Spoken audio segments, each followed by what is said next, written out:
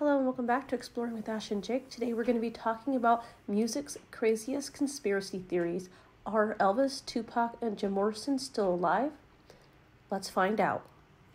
I wouldn't bet on it, but for entertainment purposes only, this is a good way to approach the following conspiracy theories.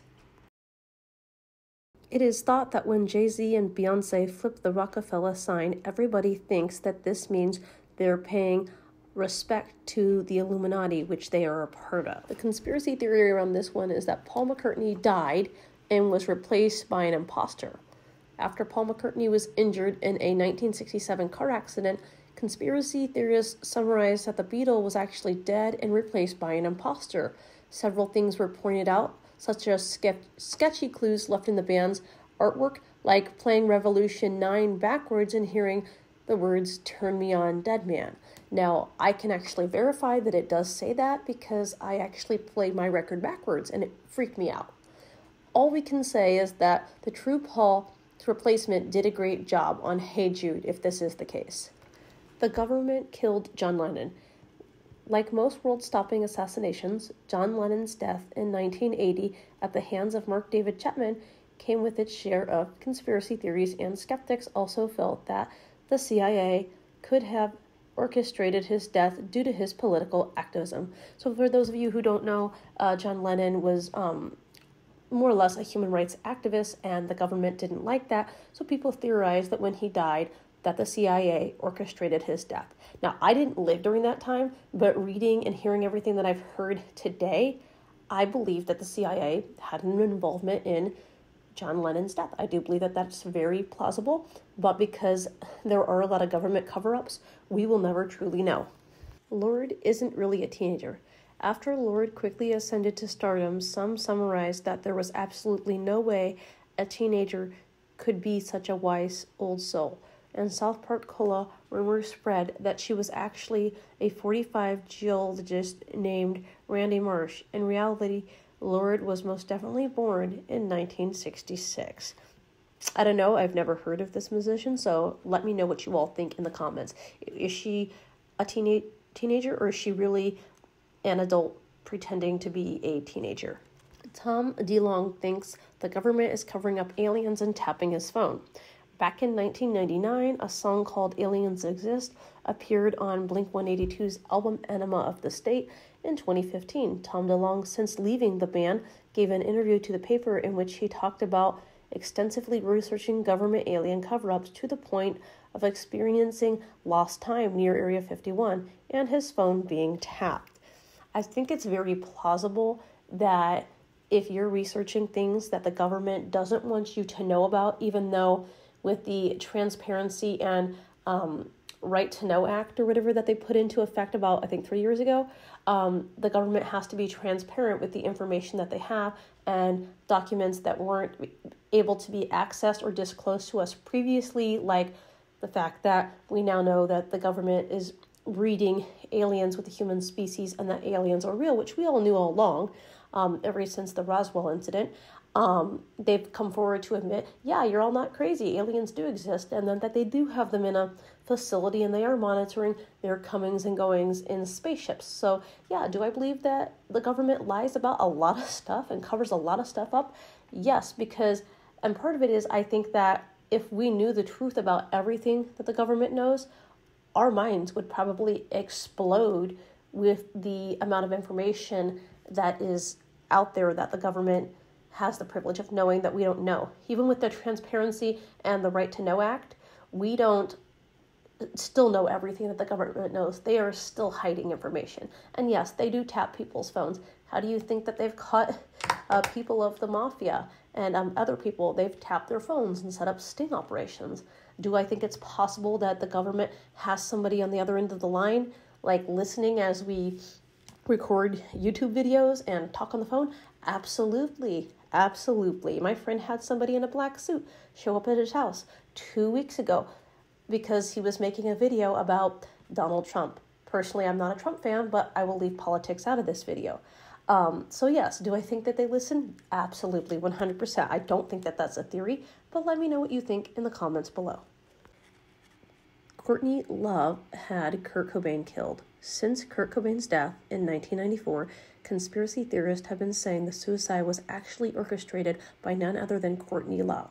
Enough people believe that the very suspect rumors for a skeptic document that was soaked in bleach came to be in light in 2015, though Love responded with a cease and desist letter to all the threats, planning on showing the film. Now, as an outsider, my take is that I believe she 100% orchestrated his death and even did it herself, no help at all. And I say this because he was planning on divorcing her because he was not happy in their relationship and how things were going. So I think in order to prevent him from divorcing her so she could end up with the minority of his assets, that she killed him. Point blank, she killed him. Let me know what you think. Just like Elvis is alive, there are some that maintain Tupac Shakur is very much still alive, having faked his own death and found refuge abroad. While the details of Tupac's death and assailants may never be known, the still alive argument seems to be quite unlikely in 2014, even though the CIA's official Twitter account even confirmed they had no idea where Tupac actually was. Now, I've read some crazy theories, even a pilot that came forward and said he smuggled Tupac onto a two seater plane and dropped him off in Cuba. And there are many sightings of people saying that Tupac's alive, They've seen him in Cuba. They've seen him at the NBA um, playoffs for basketball games. They've seen him in the background um, music videos, um, even as of recently as of last year. So I, I'm kind of gonna leave this one open ended. I personally um, was somewhere like two years ago, and I swore that I saw someone that looked exactly like Tupac. I was at a football game, and I swear in the audience there was a man that head to toe looked like Tupac. So, do I think Tupac's alive? Yeah. Do I think he never really died? Yeah. But let me know what you think in the comments below. Let's debate it. Beyonce pretended to be pregnant.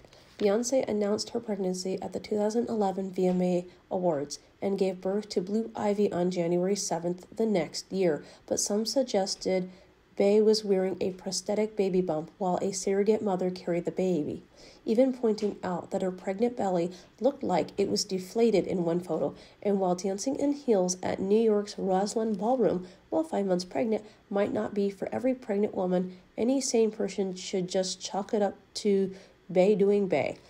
Now, I did see the photo um, that they're talking about, and it did look like she maybe had a pillow or something stuffed up inside her. I am definitely going to say, yeah, I think she faked her own pregnancy.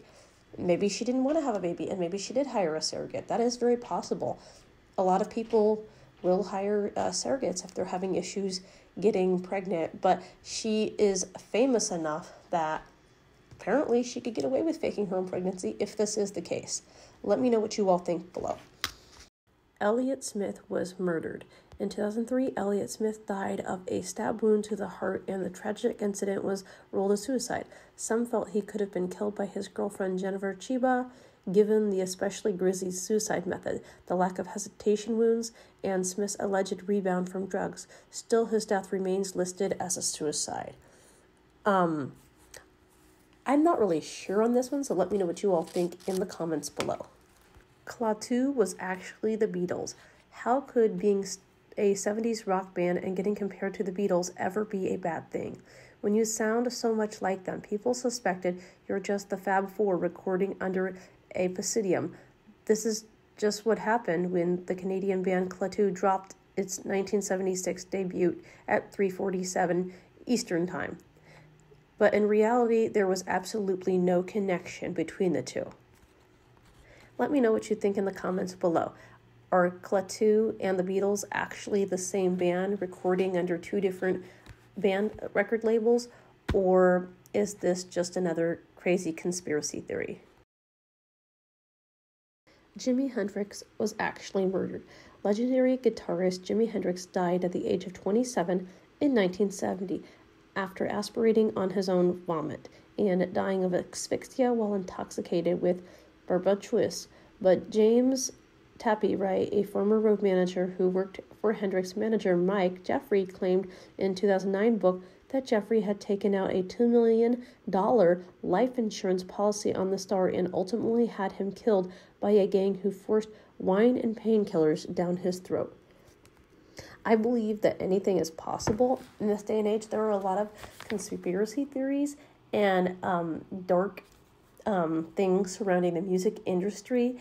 Um, it's weird is when Michael Jackson died, the, the uh, record sales was phenomenal. It went through the roof when he died, but he never made that much money in his lifetime while alive. But the minute he died, the records skyrocketed. So yeah, I do think there is some theory to that. That if you're not um, making enough money, they have you basically killed because your record label's worth more when you're dead than when you're alive. So the people who work for the music industry, they actually sign a contract that you're taking out X amount of money on your name. So your name is a contract. And if you don't pay back that money or make back that money, yeah, those people in the music business can have you killed. It's a shady job working in the music industry. And I absolutely 100% believe that Jimi Hendrix was actually murdered. Whether that can be proved or not is a whole nother story. Andrew WK and Dave Grohl are the same person. Have you ever seen Andrew WK and Dave Grohl in the same room together? Years back, some summarized the party rocking persona of Andrew Weik's Cure was just Dave's alter ego, but this one doesn't hold much weight outside the fact that the dudes do kind of look alike. Now, as I'm doing this video, I am looking at a picture of them, and I'm just gonna say, honestly, I don't really feel that they look too much alike because one has a more rounder face than the other, and one also has significantly longer hair than the other. One looks younger while the other looks older. So, um, do I think that this one's a theory? Absolutely, especially if you're looking at their genetic makeup, they do not look anything alike. But that's just my opinion. Let's hash it out in the comments below. As always, I want to thank everyone for watching and supporting our channel. I hope you're having an awesome fall. Rock on, stay weird, keep exploring. Peace out, and good vibes, y'all.